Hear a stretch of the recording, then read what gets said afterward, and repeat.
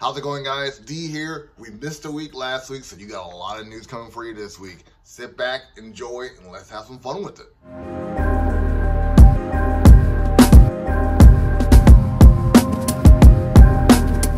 First up, Constantine is returning. That's right. The, the John Constantine movie we all know about with Keanu Reeves is coming back.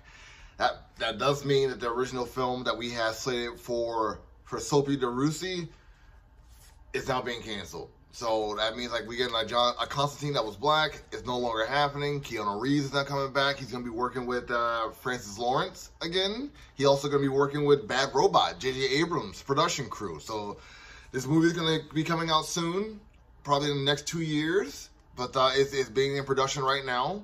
Uh, I, I can't really say if this is a win or a lose for Warner Brothers Discovery, but uh, some fans are happy, some fans are not so happy. This guy right here, but you know, we got a new Constantine movie with Keanu Reeves. I think it's a series that's coming out, a series, not a film instead. But it's coming out soon. We're gonna be watching it, and we're gonna be talking about it. Let's hope they don't disappoint. Next up, Zack Snyder made an appearance in Teen Titans Go. This is a very funny episode. You get to see Zack Snyder do his Zack Snyder thing in full Zack Snyder form. And also you get like a snippet of uh, how Zack Snyder would make a Teen Titans episode. It's very dark.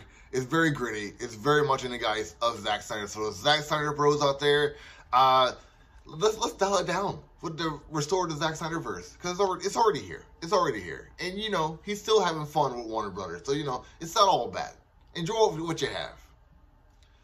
Next up, Harley Quinn. 30th birthday is coming soon. That's right, the Harley Quinn, the clown princess of crime, has a birthday coming up in October. It's going to be celebrated at the New York Comic Con, October 7th, from 9 a.m. to 3 p.m. at the Javits Center at the New York Comic Con that's uh that's pretty awesome. If you guys are a Harley Quinn fan, congratulations, 30 years, this character going strong, getting more and more popular as she gets older too. That's that's pretty awesome. I'm pretty happy to see like that Harley Quinn getting her getting her flowers, getting her roses, and like people cheering her on for like so many people just treating her like she was second fiddle second fiddle to the Joker. Next up, Cyberpunk is going hard. Over a million players have been joining the game, as opposed to 86,000 players just right before the anime came out. So, as most of you know, Cyberpunk Edgerunner is now here. People are out there talking about it. For me personally, it's one of the best anime series that come out right now, if you want to call Trigger and what they make anime. But you know, I love the series. I just finished it. Make sure you check out the reviews on TikTok coming out pretty soon. But the game. Over a million players are playing this game right now, and like more people are doing it every single day, all because of this anime. This is a very good thing to see. Like it's nice to see fans come out here and show themselves to play this game, to talk about this game, and like you know really put it back on the forefront because as many of you know, there was a problem with the game when it first came out, but like, you know, a lot of those problems have been fixed as of late. And like now that more and more people jump on the bandwagon after like all these hiccups are gone, it, I want to see what can happen next with, with uh, Cyberpunk and the anime Cyberpunk Edgerunner. So if you've been playing the game, let me know, leave some comments. And lastly, do a little bit different on this episode today when it comes to the news. Releases. There's a lot of releases that come out this week.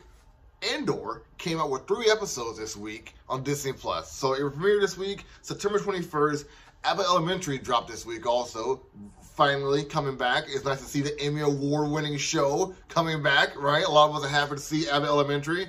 And Iron Man has a new game announced from EA Motive. This is very fun to see. I'm very excited to see what EA can do with their games, with their fan base, and like how people are going to be approaching this game as opposed to the 2008 game that came out. I want to see like how like this game really gets interactive with Marvel and EA Motive putting it out there because if you guys have been noticing, Disney's been trying to come up with a lot of new games for their Marvel franchise, and um, I want to see how it goes. The Marvel Avengers game, eh, mixed bag, but you know this one here could possibly be pretty good. It's an Iron Man game. Never know. Let's find out. And here we are, Princess Zaheeda with Artist of the Day. Hey, I'm Princess Zaheeda and I'm here to bring you the Artist of the Week. This week we are featuring an artist by the name of Shakuri. She can be found on Instagram, Twitter, Patreon, YouTube, Twitch, Discord, Artist Nation. She's got an entire Linktree that's in the bio of her Instagram. So if you want to check out all of her complete links, check her out there. I am a huge fan of this artist's work. From the way that they are able to delicately blend certain colors together to soften her subject's facial features to doing just the opposite of that and using really bold colors to highlight certain features, either that person's clothing or their hair color. Um, I spent so long just scrolling down her page looking at all of her work. If you guys are a big fan as well, her commissions are currently open. Uh, so you guys can have your own artwork made by this incredible artist. If you guys love this artist or any other artist that you've seen on Blerd News, please be sure to like their content, share their content, give them a follow, give them a shout out, tell your neighbor, tell your mom, whisper it to your dog. Uh, just give them the love and support that, that they deserve. Um, and if you have any artists that you guys would like to see featured, send us their name and where we can find them. I'm Princess Zaheeda, and this is Blerd News. And lastly, comic of the day is Black Adam issue number four. Black Adam is going four issues strong right now. A lot of you guys have been talking about this comic book. I want to see what you guys think about it. It has like a lot of feel and heart inside of it. The art is absolutely just crisp, just so cute. If you guys like it, let me know what you think. Leave some comments below. Until next time, take it easy.